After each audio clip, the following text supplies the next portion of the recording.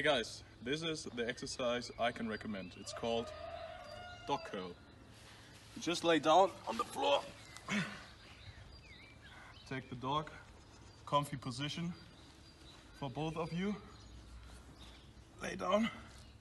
Watch for your elbows. Don't stretch it too much. Always poo, push it hard. Poo. And it's fun for everybody. So guys, stay at home, stay healthy, and always keep in mind, who are we? Lions!